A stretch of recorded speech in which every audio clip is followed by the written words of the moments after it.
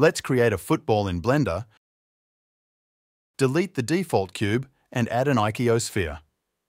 Add a subdivision modifier with two levels and apply, give it a new material called white, select the center vertex and click on Select More. Repeat, press Shift-G and select Face Regions. Back to Face Mode Control I to invert selection.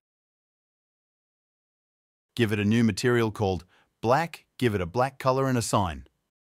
Select this pentagon.